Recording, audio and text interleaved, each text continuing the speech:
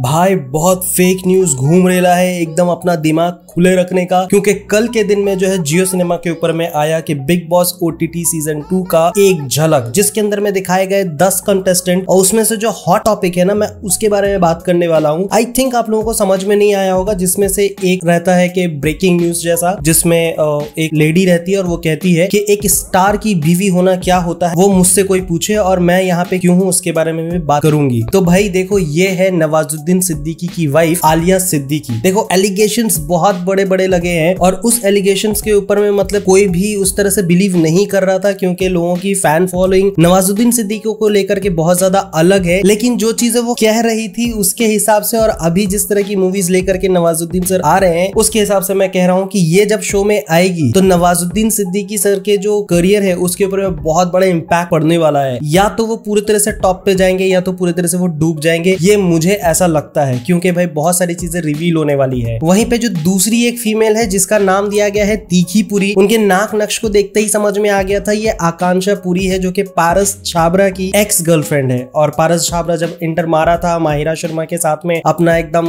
लफड़ा वगैरह चालू कर लिया था, ठीक उसी वक्त में कुछ ब्रेकअप का सीन हो गया था। और अभी जो है, ये आने वाली है तो देखा जाए, ये भी एक एक्स है। वहीं पे मैं अगर इस मैडम की बात करूँ, जो कि डीडीएलजे में रॉबी की पार्टी पर जो शाहरुख खान के साथ में फ्लर्ट कर रही होती है वो बंदी ही यहाँ पे है और जो कि अपना हीरो मतलब सच देवा की गर्लफ्रेंड रह चुकी है, वो यहाँ पे देखी जाने वाली है मतलब एक और एक्स मतलब अभी तक ये ट्रिपल एक्स हो चुका है तो कुल मिलाकर के ये थ्री एक्स हो चुका है। आगे अगर बात की जाए तो भाई, आगे में आपको देखने को मिलने वाला है यहाँ पे एक यूट्यूबर जिसके नाम के आगे में इंसान लगता है, और जब पहली झलक में दिखाया गया कि इंसान में कौन सा इंसान हूँ, तभी समझ में आ गया था ये वो इंसान है जो कि अपने भाई के दम पे चल करके आया और लोगों ने इसको सर पे बैठाया। और अभी जो है आठ मिलियन सब्सक्राइबर को जो है दमदार दावा कर रहे हैं। भाई साहब आए हैं यूट्यूब कम्युनिटी से तो भाई जितने भी यूट्यूबर्स है, उनके लिए तो बहुत बड़ा प्राउड वाला मोमेंट है ही। लेकिन लेकिन, मुझे सबसे बड़ा झटका लगा जब नल्ला बेरोजगार कोठी वाला चाय वाला क्या बोलते हैं वो बंदा? उसको, जैसे मैंने सुना, मैं तो भाई समझ गया कौन है पुनीत सुपरस्टार जो कि खुद से अपने नाम के आगे में सुपरस्टार लगाता है। भाई वो बंदा आ रहा है और हफ़्ते का दस लाख रुपए लेके जाने वाला है। आप समझ रहे हो टिकटॉक वीडियो का जब जमाना चल रहा था, उस टाइम पे किसी एक कोने में ऐड करके, फराटेदार कुछ भी बस बोले जा रहा है बंदा और कुछ भी अंड शंड भंड किए जा रहा है। वो बंदा भाई आज दस लाख रुपया हफ़्ते का चार्ज कर रहा है। वो भी